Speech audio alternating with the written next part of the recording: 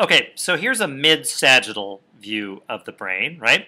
And here you can see the corpus callosum right along here, right?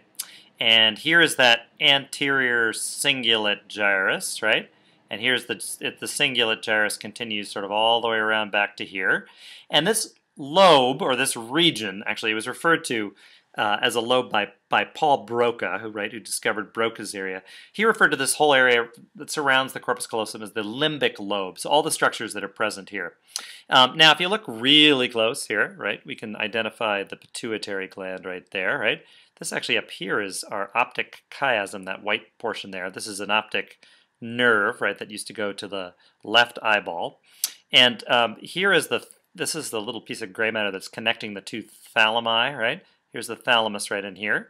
And then underneath it, below it, right, this area here is the hypothalamus right there, right? So the hypothalamus is connected to the pituitary gland.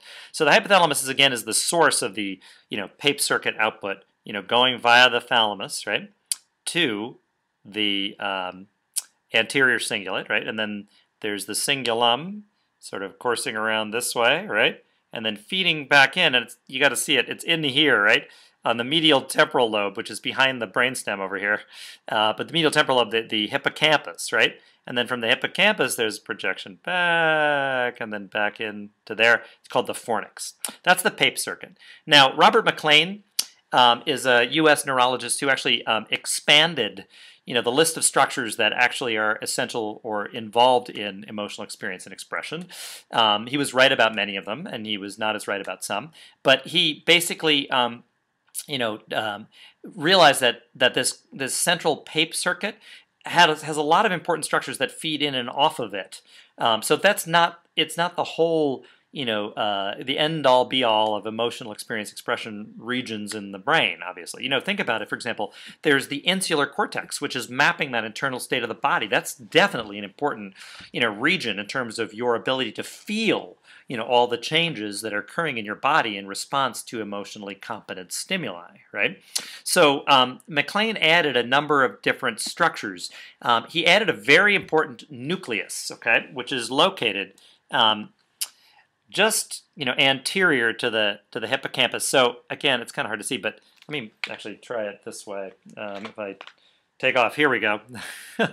so I've removed. This is our temporal lobe. This is from the lateral view, right?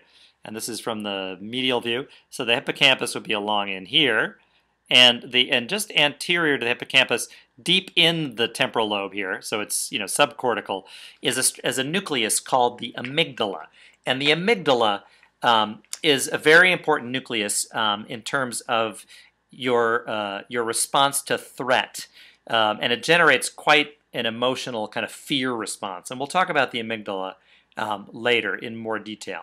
Other areas that he added in are areas of cortex that surround um, the hippocampus. So this includes um, a region called the parahippocampal gyrus. So you know that's that's para means around, so around the hippocampus, parahippocampal gyrus.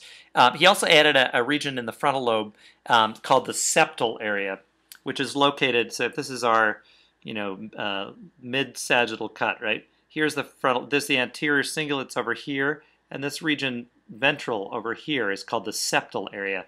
And it it is also cortical, but it's very important for um, emotional experience and expression. There's a famous study by um, Milner um, uh, back in the um, uh, in the oh, oh, god quite a while ago now. I'm gonna blank on it. Uh, my hippocampus is not working, but it was a study that where they actually um, you know, uh, descended an electrode into it.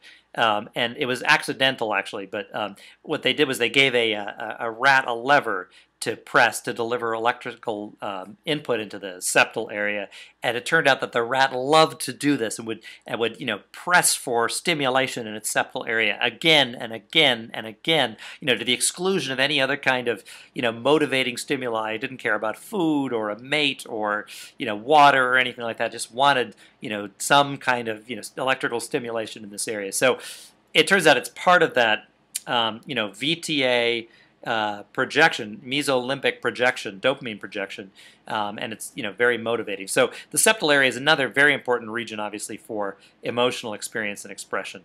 Um, there are some other brainstem structures that were added uh, as well.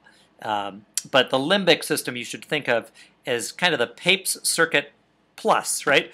Papez circuit plus a number of these other structures that feed into and off of you know those structures that Papez initially identified as part of that central core circuit that are involved with emotional experience and expression. And again, we're going to focus in on a few, uh, in particular um, the amygdala.